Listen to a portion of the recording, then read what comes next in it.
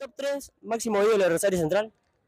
Para mí, y Palma, Rubén, y te diría que Di María.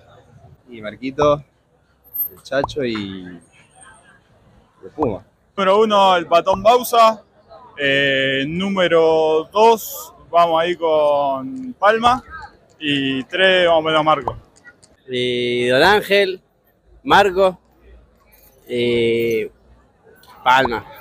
Eh, no sé si van en orden, pero te voy a decir Marco Rubén, eh, Kempes y Bausa.